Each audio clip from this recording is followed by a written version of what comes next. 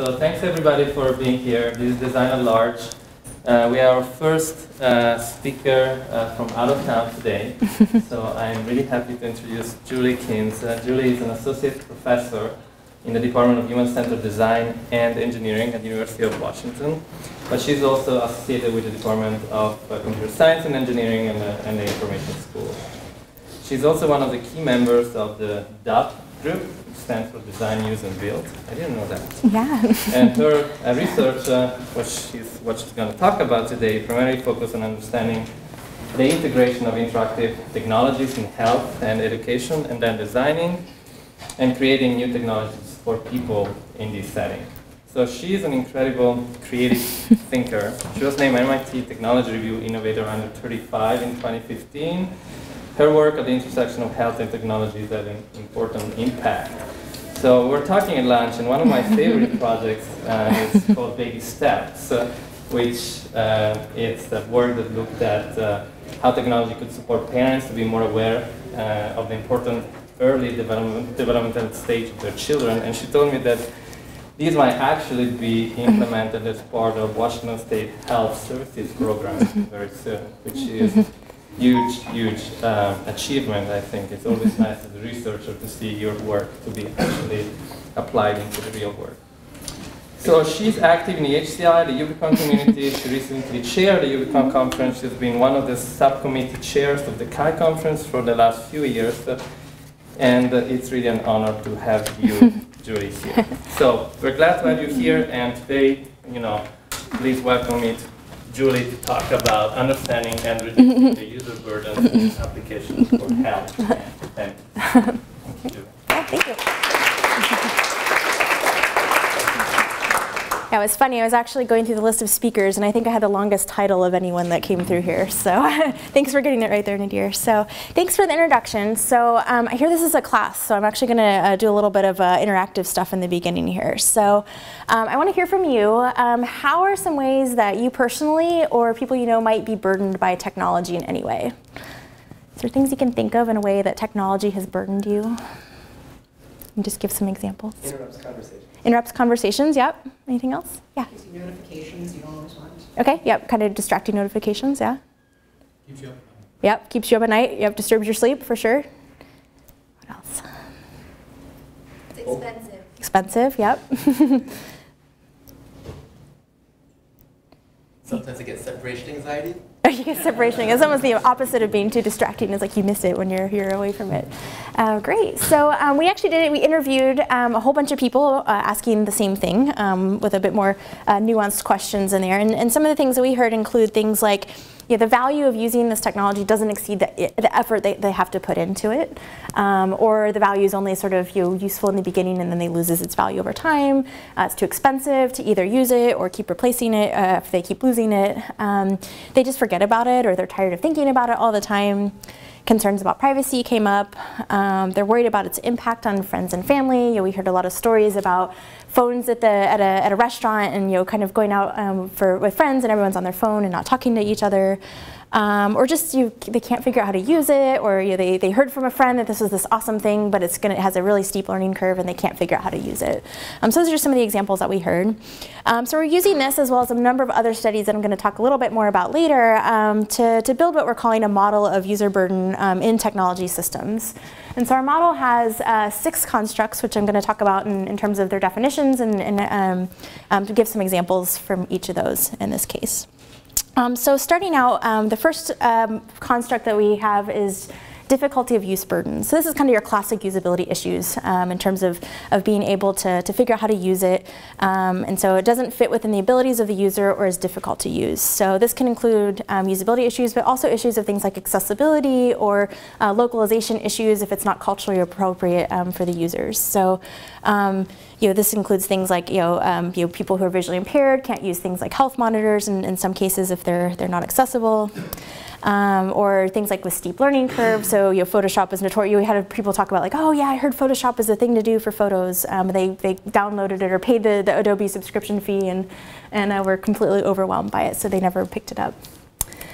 Uh, the second category is uh, physical burdens. So um, the system actually makes this user physically uncomfortable in some way. Um, so some examples that we heard here, things like you know, fitness trackers. If you know anything about Fitbit, you know, there was a big deal with them. Their, their Fitbit Flex was causing skin irritation issues for people. Um, so they're sort of just the, actually physically painful. But also things like being uncomfortable or heavy. Um, this is actually what, an example of some of the, the original wearable computing. Um, and you know, it's funny because I know some of the people from Georgia Tech who are in this space, and you know, you never saw women wearing these because it was actually super heavy uh, to, to wear all that, that equipment. Um, and so, and they were, it was just kind of big and, and uncomfortable. Um, but other things we also heard in this category were things like um, I have to be constantly plugged into the wall, so I have to sit and be confined in this, this space where I have to be attached to a, a power outlet. So that was another way of, of being physically burdensome. Um, the third category uh, grouped together and end up being uh, considered uh, time and social burdens. So we define this as um, you might require a significant amount of time to use that is not well spent, um, or disrupts the user's ability to create and sustain social relationships. So that was like the interrupting at dinner, um, or um, you know things like constantly being distracted by things um, on social media. Um, so yes, it distracts from social situations. Um, also things that just had to be used too frequently, so just the, the, sheer amount of time, number of times that they had to use it. So examples we heard were things like um, fitness or a diet tracking app where you have to enter every single little thing, um, and it takes about eight steps to enter that you had a couple of M&Ms, uh, uh, you know, from the candy bowl. So you, and they didn't like that they had to do that many times throughout the day. Um, or things like annoys others. So we heard about things like, you know, oh, I hate the, the technologies that spam my, my, my friends on social media, or uh, you know, like the, the classic Runkeeper, you know, auto-generated. I ran 2.27 miles uh, with Runkeeper because you know, it automatically generated it, and people started to ignore those. Uh, the fourth category was uh, mental and emotional burdens. So this is things like um, you're requiring significant attention or concentration or being distracting, um, but also things that might make the user feel bad or make them unnecessarily worry. Um, so the, the, classic example here would be things like, um, this is the, the Wii Fit, um, which is a, a, fitness game, and had a little scale that you stepped on and you would step on it, and it would make your, your Mii character, if you were overweight or obese, it would actually like expand the character and say in this really nasally voice, you're obese. Uh, and there's you know, these stories of these parents of young children being told they're obese and they're bursting into tears. Um, so probably not the best way of conveying, it's good to know this information, but definitely not the best way of conveying that. Um, this is one of my personal examples. So if anyone's ever used the Delta app um, on their phone, um, I was flying from Seattle to uh, Atlanta, and you know my phone's off for five hours or however long it takes, and I pull it out, pull up the phone, looking to see where my gate is, and I get this big red warning that says my flight was delayed, um, and the big red button says find alternative flights. Um, turns out my flight was one minute late. uh, I arrived one minute late, and it puts this big red warning about finding alternative flights, so I panicked. So it makes the user unnecessarily worry. Um, other things like just requiring too much concentration. So people kind of mentioned kind of complex displays um, or things that were you know just you know they, they they didn't they wanted to they didn't sit in the mood to want to sit and concentrate and focus a lot of their attention on it. Um, the next one was privacy burdens. So this being defined as you know, the system risks revealing information about a user that he or she would prefer not to share. Um, so it can include things like confusing privacy settings, think Facebook is notorious for this, um, especially because they keep changing all the time. Um, so people um, have a hard time kind of going in and making sure their privacy settings are just how they want it. Um, but then also things like data capture without transparency. So things like, you know, uh, people are concerned about things like Amazon Echo, which is the, the voice input kind of home automation thing that can, will listen to whatever you say. And it's convenient because you can just say, Alexa, turn on the lights. Um, but then it constantly has to be listening to everything you say um, in order to activate. So people worry about what Amazon is getting from you. Um, and then the last category was financial burden. So these are pretty straightforward. So either it costs a significant amount of money to initially purchase, such as like a hard, you know, like an iPad or something like that, or um, to maintain use. So things with subscription fees and, and things like that, or just things that um, have to be replaced. So you know, many people when Google Glass came out said I would never pay that much for that device. Um, it was you know, I think $1,200 when it first came out. Um, so that's one of those, the, the significant cost of that was much lower than the value that people um, anticipated. Um, and then might be expensive to maintain, so every time you break your phone, it costs $200 to fix the screen. Um, so that was a complaint that we heard. Um, and this is something that's relative to people, so it's defined how they find it. So you could sort of say that, you know, uh, uh, so someone might find buying a MacBook Air to be really um, um, uh, burdensome. It's much more expensive than a, a Windows machine. Um, and so for them, it's a big burden. Um, but obviously, your income level is going to play into that. But then also the amount of value you get into that plays with that as well. So some people think it's worth it to spend you know $1,300 on a, a high-end laptop, whereas for other people, it's not. So it's it's definitely relevant to the user. And all of these were actually from the perspective of what what what someone else found burdensome. So what one person finds burdensome may not be the same as what another person finds burdensome. Um, so this was developed um, as we were trying to build a scale for this. So a lot of what we've been trying to do with our work was to figure out, um, you know, we, were, we, had this kind of idea of user burden that we were trying to figure out, um, and we were trying to build these systems to reduce it as much as possible, but we had no way of proving that what we built was actually less burdensome um, than you know, the, the, existing state of the art. So we wanted to develop a way of measuring it. So um, we ended up developing um, a validated 20 item scale um, with six subscales uh, correlating to each of those six constructs that I put together um, that will um, that are um, it's evaluating either currently used systems or systems they formerly used. Um, so the questions are things like, so in the emotional and mental category, using X, so we pipe in the name of the system. So using PowerPoint made me feel like a bad person, and then they could you know say never, a little bit, sometimes, very often, or all the time. Um, I use X more often than I should. I use Reddit more often than I should. Uh, never, a little bit, you know, um, those things. Facebook's policies about privacy are not trustworthy, not at all, a little bit somewhat. Um, and then difficulty of use included questions like, I need assistance from another person to use um, um, this uh, laptop. So these are the, and there's 20 of these types of questions in each of these categories. Uh, so we validated the scale with uh, over a thousand people um, and iterated on the scale at least 10 times um, to, to work out through these. We started with a bank of I think 200 different questions that had been generated from all the interviews that we had done as well as uh, relevant literature, um, some uh, similar scales that we'd seen um, that related to the different constructs that we had. Um, we did uh, construct validity with the principal components analysis. So the reason you see things like time and social together as well as um, the mental and emotionals, we actually started out with eight constructs that ended up being narrowed down to six um, through a PCA. Uh, we did inner, uh, item re reliability. Um, we did concurrent validity based on technology that was still in use versus technology that was abandoned. So we saw much more higher burden in technologies that people had abandoned versus those that had been still in use. Um, and we did convergent validity with some similar scales, including the system usability scale, um, which measures um, usability, um, as well as the NASA task load index, which is a, a scale for, for effort involved in, in using something.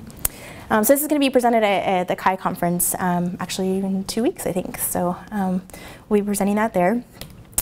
Um, so I mentioned that uh, it had six subscales. So uh, those are related to the, this is six constructs that I just defined. Um, and they range in um, you know, from two questions per scale to four questions per scale. So if you were building a, a, system that you didn't really care about the financial burden, you know, maybe you're designing for some company that you know doesn't really care, um, then you don't have to include those questions. Or like physical burden doesn't apply for some things that are maybe only online, so you might re reduce those. Or if you're trying to improve something, you can kind of just use subscales as well as using, uh, if you want a shorter version of that, to um, to use the scale. Um, so just want to kind of show you how this can be used. So I mentioned that we validated this with over a thousand people. Um, we had them uh, self-identify what technology they had. We asked them to answer the scale um, for a technology they're still using, as well as one that they have abandoned, um, and that no, we, we kind of define that as just a system that you're no longer using. Um, so people included all sorts of things. Um, we left it open-ended. They self-defined it. Uh, but we did obviously see some clusters there. So um, here's kind of the results of some of these things that we looked at. Um, so for example, an iPad. Um, so we had um, in, our, in our sample for our final version of the scale, um, we had 17 people still using it and seven who had abandoned it. And these aren't statistically significant, so this is kind of just a, a visualization to show you these things. But you can see that you know, the, the inner is, is a, a burden of zero and the, the outer is the highest burden level of four. Um, so this is the average score across all the people who answered it for this particular technology. So, um, and then the blue is people who are using it, and the orange is people who have abandoned that technology. So um, for the case of the iPad, um, the um, the people who abandoned it found it much more difficult to use than the people who are still using it. Um, and the mental and emotional burden uh, was higher for the people who had abandoned it than the people who are still using it. But both groups kind of found the, the time and social burden to, to be significant in that way.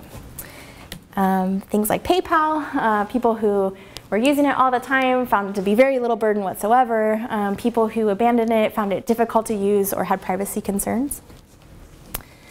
Um, Fitbit. Um, this was actually one that was a little bit surprising. Um, we had kind of smaller numbers here, but um, the people who abandoned it found it much more difficult to use than the people who are still using it. Um, I was actually expecting to see we might see more, more of a physical burden for people who had abandoned it, um, but it looks like that burden is only in place while you're using it. So, or maybe they had forgotten that it was a, a, burden if they were no longer using it. and so you can kind of see the, the differences there. Um, uh, the Kindle was something that came up, so difficult, again, sort of difficulty of use for people who um, abandon it.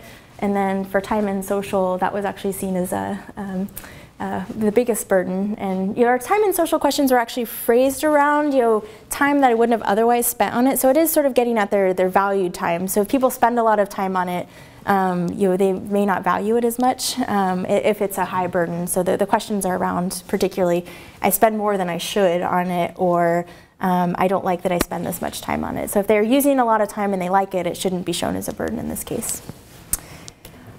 Um, Gmail, uh, people who abandoned it uh, found it much more difficult to use than the, the people who were still using it. And uh, people in both cases found it to be burden, the privacy to be burden. Um, the abandoned people found it a little more mental and emotionally burdensome. Um, Netflix, um, people who were using it definitely still felt like they were spending a lot more time on it than they should, um, but that was definitely the, the biggest burden there. And then Facebook, uh, you know, there are a lot of people who um, maybe abandoned it because of privacy reasons as well as kind of time and social reasons as well. Uh, and then lastly, Skype. Uh, so this is actually our most abandoned technology that people listed surprisingly. Um, uh, and so 65 people said they no longer use Skype anymore, um, and presumably because it was difficult to use. Um, so why do we care about reducing user burden? So technology abandonment is one issue, but a lot of times you can kind of force people to use the technology because they have to. You know, Microsoft Word, for example, didn't come up a lot in abandoned technologies just because people have to use it uh, for work or other reasons. They might switch to other uh, word processing things, but you know, a lot of kind of productivity software didn't necessarily come up. But you know, we really do want to use this, um, reduce this as much as we can, um, so it can lead to technology abandonment, and this is especially the case for things that are discretionary use. So you know, things like fitness trackers and um, apps and those sorts of things that people have many choices and don't have to use. Um, obviously, they will have uh, uh, the more you can reduce burden, the better for those. Um, the different types of burdens can limit the type of people who will be able to benefit from the design. So you know, obviously things with high financial burden are going to be problematic for people from uh, lower economic classes um, than you know, things that are more expensive. Um, people who have concerns about privacy may be missing out on some of the benefits. So you're going to limit the type of people who would be willing to adopt the technology. Um, and then just you know, we care about user experience in general, so um, you know we can it can lead to an overall negative user experience. So that's the scale and kind of the model. Do people have any questions? I'm happy to take questions on that in particular now if you want, or you can hold it till the end. Yeah. Uh, just a quick question. Yeah. Uh, when people did abandon, did you actually ask them why they did? We did in, in the validation. Yeah, we did in our interviews. We talked about reasons why, but we don't have it on the kind of the mass scale that we do the quantitative level. So um, for definitely for future work, um, you we'll, we'll look at that. But we didn't necessarily ask in the in the validation survey. But yeah. So I wonder if there's a potential for self-rationalization in the way some people answer these questions. It's like, well, I'm not using it anymore. Well, it's because it was difficult to use. Right. You know, sort of the, that sort of a thing. And I wonder if you can detect that or. Um, yeah, I think that's still open. You know, where this scale's pretty new, and you know, we only have the data that we use for our validation process. So, and it was none of the technologies we had personally designed. So, I think that there's um, definitely a potential to explore that. I don't think you know, we didn't ask them how long ago it had been since they used that technology, so they could have stopped using it a week ago versus five years ago. And I think there's going to be some some effect there as well. So, um, right. and the other, the other question I had was, uh, I wonder if there's sort of a, I just want to say an ecological aspect to this that's not really visible. So, for example, abandoning Skype, that just could be because Google Hangouts came mm -hmm. on the Yeah, yeah, exactly. Yeah, yeah. I can't remember to use uh, Skype anymore yeah. it's different than the Google Hangouts model. And, yeah. You know, and, and again, it's sort of Skype didn't get any harder to use or you know whatever. Certainly, yeah. Or, you know. And that's why, yeah, certainly technology abandonment has other issues than just user burden. So user burden is not the only reason that people abandon technology. So you your new you get a new phone every two years, and so you abandon the old one, and that has nothing to do with how burdensome the phone was, other than Right. See, this yeah. is like an intervening Right. on those charts that you had. For sure, yeah, and that's why you take that with a grain of salt for sure. I mean, and you given also some of the lower numbers, but it's just kind of just an illustrative example of, of the things you can use. Yeah, but definitely don't go out telling everyone that's like, oh, you know, Skype is wait, you know, because that's definitely not a, a, a yeah. Is there a- like an open-ended component for research too? Like people get to tell you a bit more about why they might have found a certain technology burdensome? Yeah, so I mean, this is the scale that we were developing was was kind of just kind of self-contained. But presumably, if people are using this, they would they would use triangulation and you know also include interviews and open-ended responses and things. So yeah, the scale is just kind of one component of getting this overall picture for that. So yeah, I wouldn't recommend using the scale and the scale alone um, for for getting at that because you do want to know not just what but why for sure. Um, so now I'm going to kind of shift and give you sort of a, a high-level view of the research in our lab that we've done that sort of led to us thinking about this broader picture of user burden um, and kind of led us down the, the path of developing the scales. So um, we'd done a number of, of different formative studies trying to understand um, um, various aspects of designing technologies that led us to, to think about these things. Um, so I'll kind of go through briefly each of those and, and what aspects of user burden surfaced from these studies. So these all took place before we ended up developing the model and the scale. So this is kind of what informed that. Um, so the first one that we were doing is we were trying to design technology. Uh, Nadir actually talked about it in the beginning about helping parents track their kids' developmental progress. And we were hearing a lot of stories of people who were just felt really anxious about that, um, about the idea that they might use a tool and find out that their kid is at risk for autism or sort of type of developmental delay. Um, so we really wanted to look into this issue of, of how um, technology might, that might potentially convey bad health news can do it in a way while minimizing that emotional burden. Um, so we interviewed doctors and patients on the experience of a diagnosis um, of a chronic condition um, to hear about their information needs as well as reviewing some medical training literature. So the, the type of literature that doctors use to learn about sharing the news with a patient that I'm sorry, you it turns out that your biopsy was positive and it is cancer. You know, how do they do that in a way that you know minimizes the the, um, the emotional pain associated with that, but does it in a way that's empathic? So that's kind of we call it this empathic interface design. Um, so we use that data to kind of look at, how we can design technology to minimize um, um, that particular thing. But you know, the thing that we heard about was like, oh, don't tell me the news. Like that's not the case. We want to give this news to you regardless. So there's no hiding of information. But can we convey that information in a way that is um, um, gonna you're going to be in a way that you can process it. But um, one of the, some of the things that we found are, um, you know, delivering any news of, of uh, kind of potential bad health news with an immediately actionable thing that they can do. Um, the worst thing is that you know, we're hearing stories about people who got a phone call from the oncologist at um, uh, five o'clock on a Friday and left a message on their phone saying, you know, your, your test came back abnormal call us back on Monday. And they stewed all weekend long and had nothing to do. So you know, that's a bad situation. So if you do give any sort of uh, indication of, of some bad news, give them something immediately actionable that they can do right away. Even if it's just reading about more about it, um, that can be one way of doing that. Um, but then also just acknowledging their fears. That was what we heard a lot from, from doctors in the literature was just acknowledging patients that, oh, it's okay to be upset or it's okay to, that you might be anxious about this. Um, that's completely normal. Um, so that was the, the kind of the study there. Um, I've done a lot of work in the, the sleep technology space, um, and so some, a lot of issues came up when we were um, mapping out a design space for sleep technologies. Um, so this was kind of just looking at the, the space that, that technology can play in improving healthy sleep, and um, we did a literature review, contextual inquiry in a sleep lab and with sleep clinicians. Uh, we did surveys and interviews with, with both sleep experts and potential users, as well as people who didn't want to have anything to do with sleep, or, and, no, and nothing to do with technology and sleep. They're very anti-technology to hear from them as well. Um, so in relation to user burden, what we were finding was that people hated the idea of any technology in the bed. Uh, like they didn't like wearing things to bed. Um, they didn't necessarily like um, you know, putting things on their body while they were sleeping. Um, and also people uh, who had tried some sleep trackers felt like there was like this, like someone was watching them when they were sleeping. And they were kind of felt this like nagging, and it actually prevented them from sleeping when they, they tried some of these things. Uh, we also heard things like, you know, when I'm about to go to bed at night or waking up in the morning, you know, I'm usually so exhausted I just want to go to bed. I don't want to sit here and fill out some form right before I go to bed. And then likewise, right when I get up in the morning, I'm groggy. The first thing I want is, you know, my coffee. So I don't want to sit there and sort of, what was my sleep quality and, and log all those things. Um, so yeah, they didn't want to have to remember to do that um, because morning and evenings are definitely not the, the best time to ask people things. Um, and then yeah, the, they just didn't want to have any sort of um, time intensity involved. Um, a third study we did was um, looking at people who do this sort of extreme data uh, collection. So we looked at the people who consider themselves to be quantified selfers.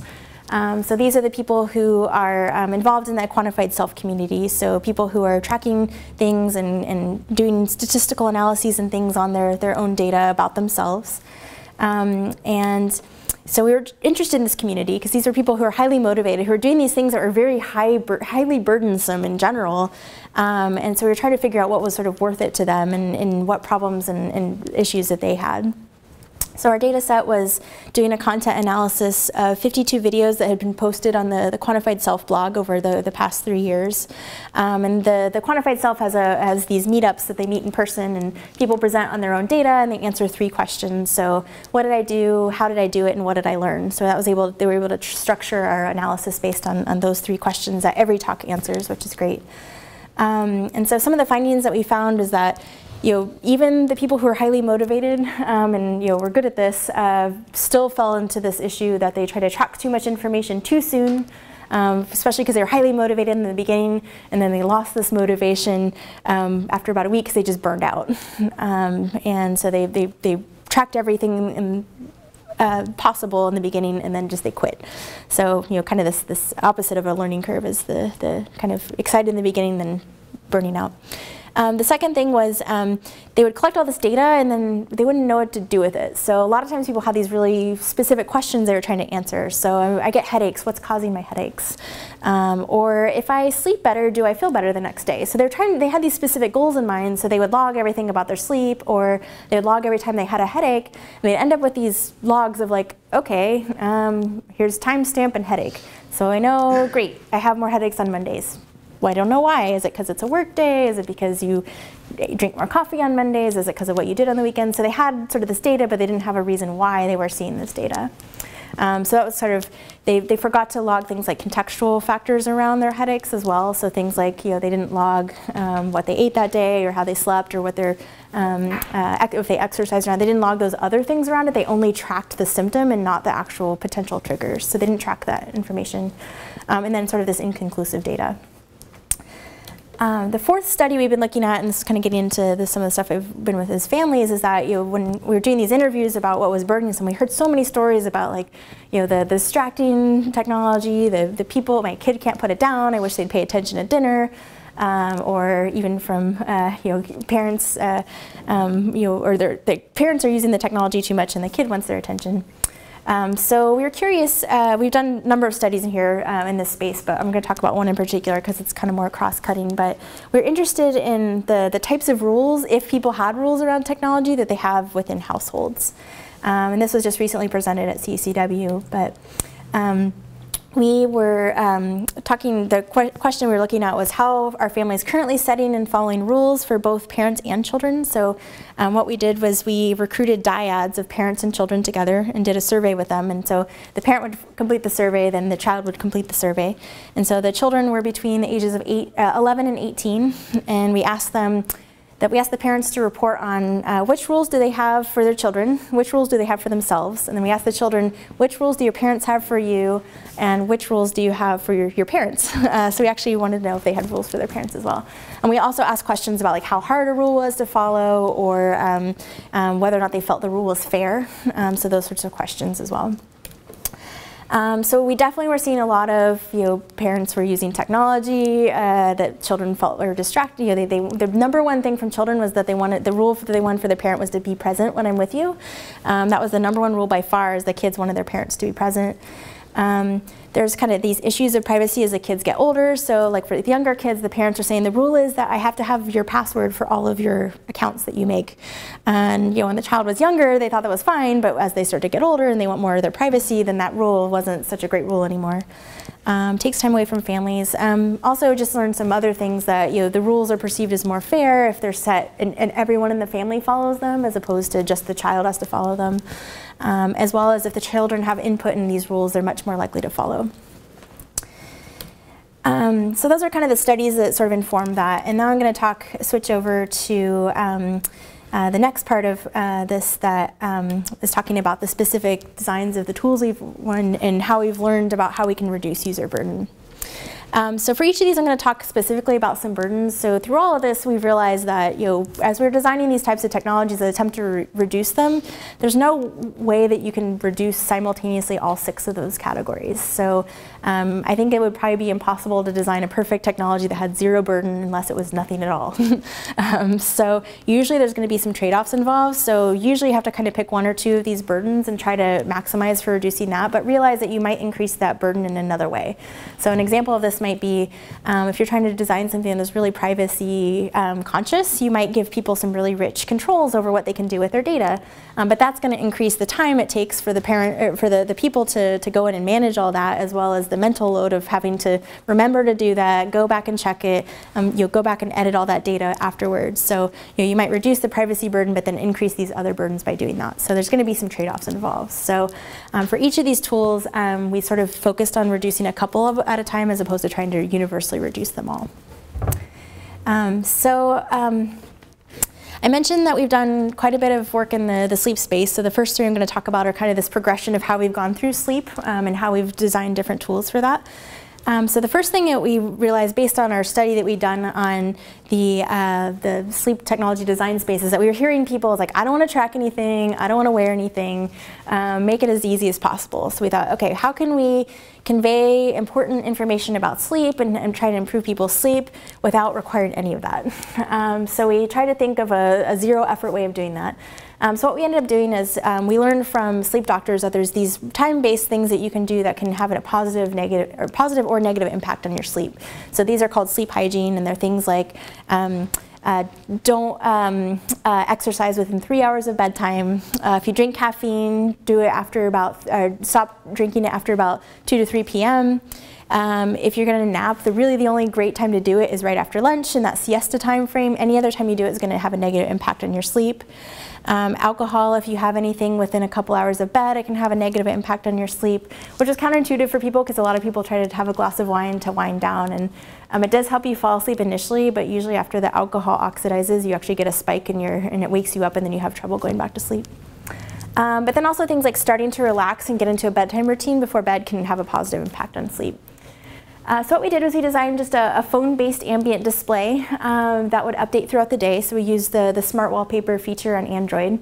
Um, and the only thing people had to do is in the beginning they had to set their typical wake up time on weekdays, um, or say they set what a work day was versus a, a home day, since people don't always have a, a Monday through Friday schedule, um, and set their typical wet, uh, sleep wake times and uh, bed times on those days. And that was the only configuration they had to do. Then they just had to use it for uh, a set amount of time.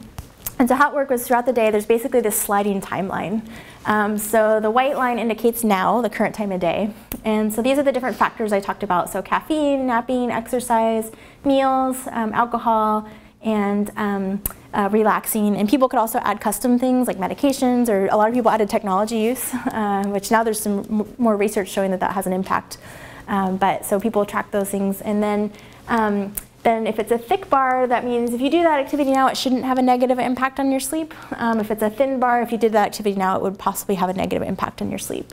Um, and so you can get a quick glance and say, okay, it's uh, 5.30 or 6.30 and it's too late for coffee. I shouldn't be napping now, but it's still okay to exercise. Meals are still fine and yay, I can still drink. Uh, so, uh, but it's not quite time to start winding down before bed. So quickly throughout the day while they're checking their other things and kind of get just this quick snapshot of that.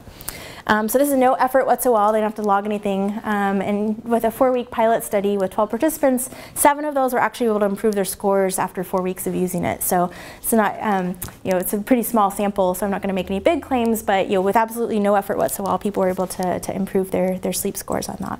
Um, a lot of people also were just kind of more aware of what they're doing, and they would specifically ignore these things. So they're like, oh, too late for coffee, but I really want it anyway. But at least I know what I'm doing, and I know I might have some problems with sleep later. So even though they didn't always follow the, the recommendations, they at least knew what they were doing, and they were a little bit more mindful about it. Um, then we also learned from people that, you know, in our initial, this is one of those be careful what you ask people, but, you know, in our initial study, you're like, I don't want to log anything, um, but then we did the ShutEye study and people kept saying, it would be cool if I could log my caffeine and you know my, my exercise and, and see if it does have an impact on them. So we thought, okay, so logging could have some benefit, but how do we do it in a way um, that will be as low burden as possible? Um, so if we did want data, what's the best way to do it in a way that will minimize um, people's disruptions? So um, so we allowed people to um, try to identify what things work for them. Because um, again, in this case, you know, some people can drink caffeine at 10 o'clock at night and have no problem going to sleep, whereas other people, they drink it after 11 a.m. and they're up all night. Um, so people you know, would see these general rules that were based on the population and want to know about for them in particular, which is why they wanted to log those things. Um, so um, we wanted to see if we could help allow people to self-monitor these things, but these things are often really hard to track automatically. So it's there's no not that I know of. There's not an automatic caffeine sensor. You might be able to log location and see when you visit Starbucks, but you can't really automatically sense caffeine yet. So these need to be done manually. Um, but for, for a lot of sleep stuff, it's not so much the quantities, it's just the when you did it. Um, so we just did a really quick um, lock screen widget that allowed people to do one tap entry. So the idea is they can pull out their phone and on the lock screen there's just a widget that they can just do quick, I had caffeine, um, I had meal, um, I had, I took medication, or I had a cigarette that also has impact, or I exercised.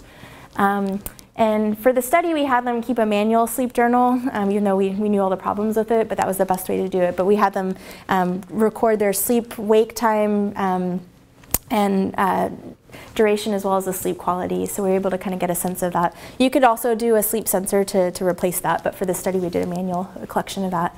Um, so we, um, so once a day they had to fill out a, a one question survey that came up at, I think, um, uh, two hours after their normal bedtime. Um, so they were able to quickly log that and then log the factors. So then we were able to provide these visualizations that showed their sleep over time so they could get a sense of their sleep consistency. Um, and then the, the colors indicate their sleep quality. So yellow is the lowest sleep quality, green is higher, and red is the worst sleep quality. And that's just a subjective score. Um, but then we also provided some ways of, of allowing them to see, okay, I had higher sleep quality on days where I had caffeine before three. Um, or I had higher sleep quality on days where I didn't have any caffeine after three, um, or these other sorts of things. Um, so we did a study comparing the, the uh, block screen widget, just a traditional uh, version of it where they go in and enter the data. And the, the, the, the, way they tracked it was identical, except that the one had the lock screen widget to enter it and the other one didn't. Um, and the people who were in that showed um, much better compliance to filling these out, and they collected more data in general. It also served as sort of just a reminder to, to log these things so that even just putting it on the lock screen, people were able to keep better data. Um, we didn't have the user burden scale at the time. This is one of those studies that we wish that we had it um, to do that comparison. Um, but you know, people self-reported that it was easier to do with this one tap entry. Um, but what we learned is that um, it's really hard to, you know, we were running into some of the same problems the quantified selfers had, right? They were hard to make conclusions from that. They could see that there was sort of this correlation between um, when they, they had caffeine and their sleep quality, but they weren't able to sort of definitively say that. So these types of tools we realized are great for um, what we call hypothesis generation, but not so great at hypothesis testing. So this is a way of sort of helping people identify like, yeah, it seems like caffeine and exercise might have an impact on my sleep and not so much meals or exercise, um, but then we don't know for sure for that. So I'm gonna talk a little bit how we're addressing that um, later on. Um, that was behavioral things related to sleep, um, and we also heard a lot of things about environmental things related to sleep. So um, these are things like you know, um, the light levels in your room, the, the sound levels in your room, people, other people, pets, those sorts of things in the room. Um, and those are things that are hard to do because you're asleep. Uh, so um, we wanted to allow people to investigate these uh, particular aspects of, of sleep um, in a way that would allow them to go and explore like, what does my sleep quality look like when it's colder or um, you know, what's um, interrupting my sleep? Is it sound-based things, or is it um, noise, or sorry, is it noise levels? Is it light levels? Um, so what we did is we built, um, it's a pretty kludgy prototype. There's just a, a, graphic of it there, but it's a big box with all these sensors on it. Now you can actually buy these great, sophisticated, beautiful ones that are like this small. But yeah, this was back in 2012, and it was all hacked together with Arduino. But um, we basically put together this box that had a light sensor, temperature sensor, noise sensor, and two motion sensors, one pointed at the bed and one pointed at the door. Um, and also had an infrared video camera that was taking still shots. So people could sort of do this, this full rich capture of their sleep time and go back and investigate these things. Um, I'll tell you in a second why that was not the great thing, but uh, what we uh, realized is that you know, the bedroom is a pretty private space for many people. Um, and a lot of people do things in the bedroom that they don't want recorded. And people were very frank in our studies about what those things were and described them in detail. And you know, I had very embarrassed uh, uh, graduate students who were learning these things about people that were, they were completely open to sharing.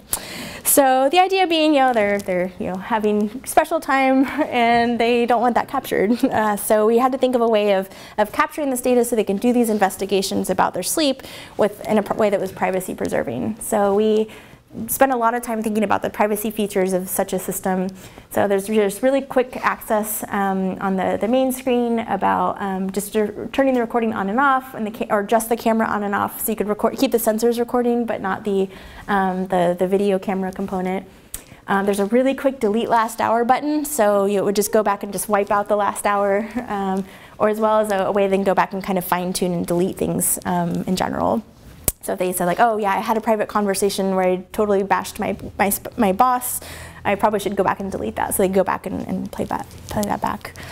Um, also in the design, we wanted to kind of just do this really quick check. So the, the red and green are, are um, actually an indicator if they're those levels are within the recommended range. So they could get a quick check and say, um, okay, the temperature level is actually too hot or too cold. So it's red if they get a quick glance. And the light levels are too bright right now, so I should turn off the light. But the noise levels are good and there's no motion happening right there. Um, in our initial prototypes, we also did air quality, but in our initial testing, the, the air quality sensor we were using was actually really noisy because it had a fan and it was disrupting people's sleep. Uh, so we ended up removing that, but um, there's some commercial systems now that, that do air quality, but that was another thing we we're gonna do. Um, and so you know, people were able to identify things like they would see, um, I don't have the screen that shows a graph, but they could see these graphs that were correlating things like their, their light levels with their sleep quality. Oh, we had them wear a Fitbit as well um, as a sleep sensor, so we got a sense of their awakening. So they got a visualization they could see when they were awakening and then go back and see, oh, there was like a noise spike there. And then they could go back and play back the video and say, oh, that was where the cat came into the room and started scratching at things. So they could kind of investigate what was disrupting their sleep um, by going back and playing the video at that time. And it was like they could quickly just uh, touch the graph and it would bring up the video from that amount of time. Um, but you know, the, the main thing here we were looking at was trying to minimize the, the privacy aspects of doing this rich recording of, of their sleep. Um, this had the same problem of uh, the SleepTight application that you know, people were you know, finding these interesting things, but they really didn't have this conclusive data. And so it's hard to draw conclusions from it. Um, so that was sort of get, leading our thinking um, on how we might do this next, which I'll, I'll talk about. Um, the fourth app that we um, I was going to talk about was sort of inspired by a lot of the stuff we've done on families um, and looking at you know, how we can encourage mindful use of smartphones within families. Um, and we heard a lot of stories about things that are just sucking you in and you, you intend to play five minutes of Candy Crush and before you know it, an hour and a half has passed. Um, and so people just would kind of get lost in those things and they would realize that they aren't meeting their goals for those days. So we just built a really, really simple app um, that people can set um, goals for how much time they want to spend and what they define as time wasting apps. Um, so there's a, a, screen where they can just go through it. It shows all the apps installed on their phone and they can just select which ones they want to log. So they can say, um, you know, like log Candy Crush and Facebook and Twitter and you know the, the Reddit apps and, and monitor my time there. Um, so just as a log and then while they're using the app, um, if they've exceeded their time, um, they just get a little warning. Um, doesn't interrupt their, well, with Candy Crush sometimes interrupt their game a little bit, but uh, will say like, okay, you've expanded your time. We did have a, a, snooze button, so I could say, I need some more time. You know, I'm, I'm okay now. Um, and we also allowed them to enter a goal um, that at the beginning of the day of something that they wanted to try and do today. So as the time up, times up came, it just conveyed, um, you know, try this instead. Today I wanted to spend more time outside or read a book. Um, and you know, we did a, a, multiple baseline study with this um, where we had people logging all their um, app usage, um, and then we introduced the intervention. They were reduced their time wasting apps uh, usage by 21% uh, after we introduced the um, the intervention there. So it was a short-term study, but we were finding, finding some promise with this. So this is kind of getting at that reducing the time burden. Um, and that will be presented at, at CHI this year as well. Um, the, this is where we decided to try and um, help the people that we are learning with these, these sleep-based studies that just logging these information doesn't give you the answers that you're looking for. The answers that we were hearing from quantified selfers that they wanted to um, you know, understand what was causing their headaches or understanding the impact that sleep has on their, their life or what caffeine has on their, their, person, on their mood. Um, so we wanted to think about this idea of how we could um, enable these, what we're calling self-experiments. So tools like that are just kind of straight out personal trackers are great for hypothesis generation, but they're not so great for hypothesis testing because you might see these correlations, but you know, you might see that you sleep better on days that you get exercise, but you don't know if it's the exercise that's doing it or if you're in a better mood because you exercised or you felt more energetic because you had you know, caffeine that day and that encouraged you to exercise. You didn't know what was actually improving that sleep overall. So you know, people would have these ideas of what might be doing it, but they didn't know for sure. Um, and you know, for things like people are trying to identify things like food triggers, um, for things like celiac disease or, or um, uh, irritable bowel syndrome or things like food sensitivities. You know, people are trying to eliminate these things entirely from their diet based on spurious conclusions that they've drawn from these, these um, kind of what we call these hypothesis generation apps. Um, and so we want to allow people to um, answer these questions in as low of a burden way as possible. So um, you know, we talked to a lot of people who were keeping things like food journals, so they keep this really copiously detailed food journal, really you know, like you know, detailed you know, on either on paper or on these apps. Um, it took forever to fill out, um, and they'd log things like their symptoms with, you know, like if they had an upset stomach or a headache or um, other sorts of aspects of things like irritable bowel syndrome. Um, gas, bloating, or those sorts of things. And so, that, but they still weren't able to make those conclusions. So um, we realized that if we do a, a self-experiment with them, that we can actually come to those conclusions. So um, we're building an app right now that allows people to self-experiment with this, where we actually will randomize which days they change those variables. Um, so right now, the app you can choose to do four different studies, so things like lactose, um, gluten, um, uh, caffeine and artificial sugars are the kind of four top causes at a population level of what might cause irritable bowel syndrome symptoms. Um, and you can log your, um, basically you're randomly assigned to days to either eat gluten or not eat gluten, or drink caffeine or not drink caffeine. Um, and we do it at breakfast, so you change whatever you're doing at breakfast. Um, and then three to four hours later, which is usually when you'll see the symptoms of IBS that are food-based appear, um, you enter in your, um, your symptoms on a scale of one to four. Um, so because we're doing a randomized uh, assignment, we're able to actually generate um, some uh, you know, uh, um, more causal related conclusions um, with, with some of these things, as well as provide people with some visualizations of, you know, these are the days that I had caffeine and these they were the days that I won't, and you can kind of visually see that on the caffeine days that there's, um, you know, an, an, improvement as well as that. Um, and this is really trying to help people understand, like, you know, maybe that's a mild improvement to them, and they really like caffeine, they need it to, to actually get through their day, so it's really not worth cutting it out because you're only seeing a mild in, uh, improvement in their symptoms. Um, and we're, we're starting with food triggers for IBS, but this approach can actually be applied to the, a lot of the sleep-based things like insomnia uh, or things that are keeping them up at night, um, as well as the impact that sleep might have on their day and these other sorts of questions that people have. Um, we're also looking at things like what, what's triggering um, people like smoking cravings for people who are trying to quit smoking. Oh, yeah, How do you find experimental design of So how do you decide when to do what? So we did. We're working with a, a cognitive psychologist that is pretty um, expert in, in, single case study design. So we've done a lot of power analysis to look at, at what um, types of study designs are, are going to give us the most power for the least amount of time. Um, and so um, things that can, can be measured frequently are good, um, and completely randomized designs um, are good as opposed to like an A-B study where you kind of do it and then stop doing it. so completely randomizing things gives us the most power for the shortest amount of time. And you, you obviously have to be within control of what your trigger is. So things like you can't really do a self-experiment about the weather because uh, you can't say, okay, tomorrow be cloudy and on Wednesday be sunny, and you know you, so you can't randomly assign the weather.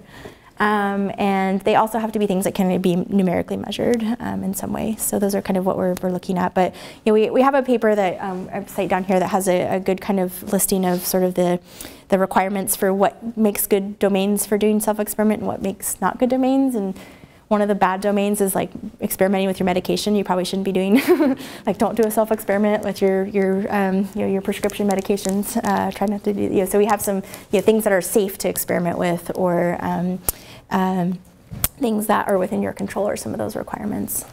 Kind of is that sort of what you're thinking, or okay. All right. Um, so lastly, um, we're, I mentioned at the very beginning that a lot of the stuff worked on because I've been working on this study with parents of young children um, and trying to reduce the burdens, um, emotional burden associated with tracking development in young children. Um, and I've also been working with the state of Washington um, to the, who have the goal of tracking every single child in the state of Washington and, and monitoring their developmental progress.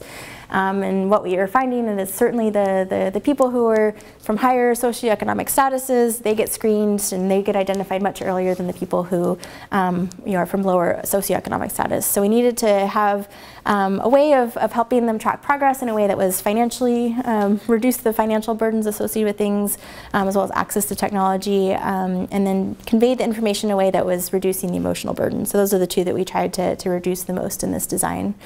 Um, so what we end up doing is, um, you know, this is based on a lot of uh, user research, but we found out that not one single tool will be um, uh, will meet the needs of, of, tracking every child. So by coming to them using whatever technology they're using, um, as opposed to expecting them to download our app or use our our system, we try to meet them to where they were. Um, so we have three different me mechanisms of doing tracking, at least with our prototype, as well as some ideas for about three others. But we have a web version, we have a Twitter-based tool, so parents can actually answer screening, developmental screening questions while they're doing other things on Twitter. Um, directly through Twitter. They don't have to install anything. They actually just follow their child's birth month and get age-appropriate tweets, um, do a direct message back to our system with a, a, specific hashtag, and then our software will go through, um, take the response to that and add it to a database. Um, and then we have a text messaging version for people who don't necessarily have internet access as well, where they can answer the questions directly through text message. Um, and no matter what they, if they use, they can use any of these tools, all of these tools. Um, um they can, they all work independently, or they all work um, um, together as a whole. So if they answer a question via text, it shows up on the website as well. Um, so that was kind of on the, the, the access uh, component. But then conveying that information is tricky too. And so we spent a lot of time thinking about how to convey that their child might be behind developmentally. And you know, we found that you know, we, we did you know, lots of mock-up visualizations of things like you know, a, a, normal distribution, and you know, here's where your child is, and you know, telling a parent that their child is 87th percentile, even though their child's fine developmentally, they don't like that very much. Um, so we have um, you know, we, we also wanted to know that a lot of times people might be lower on development just because they haven't had the opportunity to practice that skill. So you know, we end up using this metaphor of you know, it's just a tree that hasn't grown yet. You know, it just needs more encouragement or needs more water to grow. Um, so we have just a visualization that shows like here's the developmental categories, and you know for the fine motor category you're in this this lowest category. Um, but here's some activity, and so remember the the study we did that said um, do actionable information. So if they're in these categories, um, they're in the middle category, they're okay, they're kind of on the bubble, um, but they can, we just encourage them to do development activities. So we link them over to some activities they can do with their child to encourage development in that area. So for example, if they're low on problem solving, you'll hear, you hide this ball under the blanket and see if your child can find it. So to practice that skill so they can immediately practice that if they're lower in that area. Uh, if they're in the lowest category, which is the sec like second percentile or lower, um, we give them a, a, a, phone number that's 24 hours that they can call anytime um, to, to uh, get um, an official sort of screen and get connected to early intervention services. So um, if they get that news that their child needs more evaluation, um, then they can immediately do something about it. Um, it's also not shown here, but we have a lot of language about kind of, you know, development is variable. It's normal to feel somewhat anxious about how your kid's doing. So again, that acknowledging the feelings was part of that too. So, um, in conclusion, um, just wanted to kind of sum it all up. So in sort of this, this reducing user burden aspect, we have some themes that were kind of coming up through a lot of the work that we've done. Um, but some strategies that we found were things like embedding actions into activities people were already doing was a way of reducing burden. So for example, you know, the integrating the developmental tracking into Twitter or things that people are doing were, were something that was great um, to do. Um, people found it pretty low burden to kind of, bother, as they're doing other things, to also answer these questions as well. Um, providing multiple options for achieving their goals. So different people find different things burdensome. Um, what's burdensome for me is not necessarily burdensome for you. So if you have multiple options for achieving that, um, then that can um, be a good way of reducing burden. Um, prioritizing the ones that are most important to your target users. So again, you can't reduce them all at once. Um, so this is kind of your classic, know your user, um, do user research, you figure out what matters to them and then try to prioritize those burdens more than any of the others. Um, and that's kind of, yeah, figure out what the trade-offs are. So if you reduce one, what does that do to the others? Um, and then also make the burden match the user's motivation level and benefit. So we found that people who are highly motivated were willing to put up with much more levels of user burden. We saw IBS patients who had been keeping like copiously detailed uh, journals for three months straight because they really, really wanted to find the cause of their, their, their symptoms.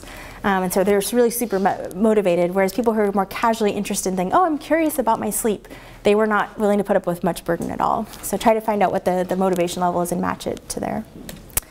Um, and then lastly is this, this uh, you know, in this world of big data, um, we realize that through all of this that data is burdensome. You know, uh, it's if you the more data you collect, the more it burdens the users, the more privacy aspects it has, the more you have to deal with it. Um, figure out what that minimum viable data is uh, for accomplishing a specific goal as opposed to this notion of like, let's just collect everything and see what we learn. Um, because that notion of collecting it um, adds a, a, bunch of burdens in, in a lot of different ways. So um, right at five o'clock. So, um, oh, um, oh, I did have a couple next steps. But one of the things I wanted to say is kind of refining the, the models of user burden to ac accommodate things like uh, trade-offs and values and benefits. Um, more validation of the, the user burden scale. It's brand new, so we're learning more about it. Um, and then lastly, the, the burden scale is only good for assessing tools that people have already used. And I'd really, really love to know if there's a way of assessing burden at sort of the early prototype stage before people are using it. So we're looking at ways of can we predict user burden um, earlier in the prototyping stage as opposed to having to build out a system and give it to people to assess it. So thanks to all my awesome students and people who give me money. Thanks.